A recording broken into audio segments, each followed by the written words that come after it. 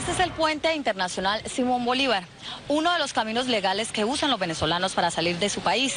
Según datos de Migración Colombia, a diario cruzan por este paso binacional 35 mil personas. Algunos tienen clara la ruta, otros juegan al azar. ¿Hacia dónde se dirige? Hacia Perú. ¿Qué va a hacer en Perú? Buscar trabajo, tener una mejor calidad de vida para mí y para mis hijos, que es lo más importante en este momento. Ecuador. ¿Y qué, a qué se va a dedicar allá? A trabajar en la cocina. ¿Y Trabajar en la cocina. Bueno, voy ahorita hacia Perú, ¿De qué parte viene de Venezuela? del centro. ¿Y por qué sale de su país? ¿Qué va a hacer allá en el nuevo país? Bueno, oportunidad de empleo. Las travesías en ocasiones tocan otras fronteras como la de Rumichaca, en límites con Ecuador, donde nuestro compañero David Sánchez acompañó la caravana de venezolanos.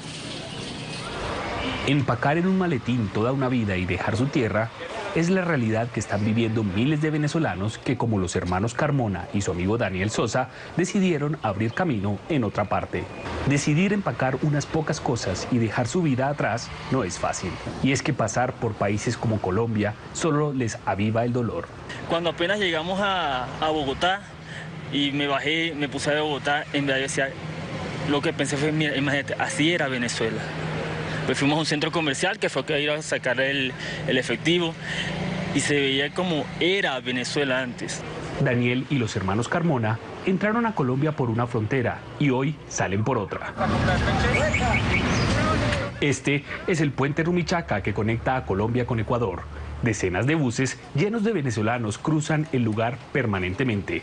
Se calcula que más de 2.500 venezolanos pasan diariamente la frontera. Acompañamos a los viajeros hasta este punto de su larga travesía.